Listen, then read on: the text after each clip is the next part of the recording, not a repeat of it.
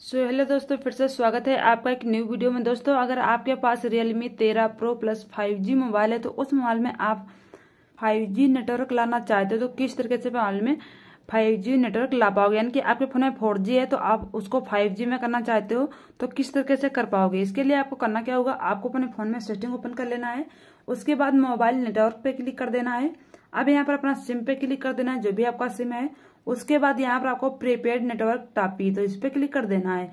तो यहाँ पर देखेंगे कि आपके फ़ोन में फोर जी पर है। यदि फाइव जी पे करना चाहते हो तो आपको फाइव जी पे क्लिक कर देना है। जैसे ही फाइव जी पे क्लिक कर दोगे तो यहाँ पर आपके मोबाइल में जो है फाइव नेटवर्क आने लगेंगे। दोस्तों, इस तरीके से अपने मोबाइल में फाइव नेटवर्क चला पाओगे।